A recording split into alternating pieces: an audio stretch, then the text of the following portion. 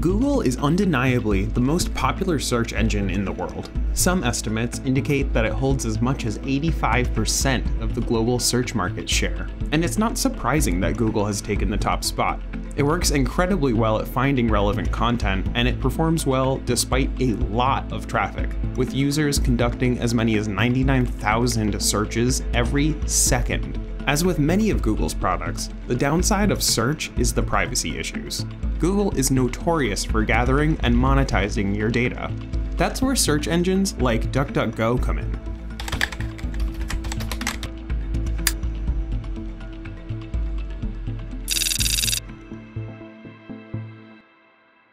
DuckDuckGo, as well as a handful of other privacy-focused search engines, promises to let you search the web just like you do with Google, just without all the added baggage. Built entirely on open source tools, DuckDuckGo was launched a full decade after Google, in 2008. It was live for three years before it had a single employee other than the founder, Gabriel Weinberg, who literally started the project in his basement. From a user's perspective, the site works the same as any other search engine, except for one critical difference. It pledges to keep your searches private.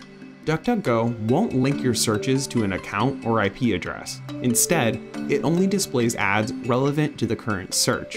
It also offers a standalone browser for desktop and mobile devices that enables ad blocking, email protection, app tracking, and other features. But where does it get its search results from? For what it calls instant answers, simple responses to a variety of questions a user could pose, DuckDuckGo partners with a number of sites like Wikipedia, Sportradar, RhymeBrain, and many others. But for more traditional search results, it actually partners with Microsoft's Bing to help out on their backend. In fact, the company found itself in hot water after researchers found Microsoft tracking script while using DuckDuckGo in 2022.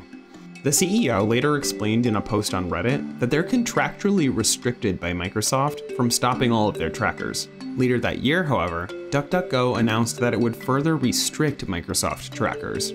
So at the end of the day, is DuckDuckGo worth it? It depends. DuckDuckGo has a bit of a reputation for serving results that aren't as good as Google's. But as their team continues to refine how it gets those results in the first place, that reputation is changing rapidly. Far and away, it's the best choice from a data collection and security standpoint. So if online safety is your concern, then the answer is unequivocally yes, use DuckDuckGo.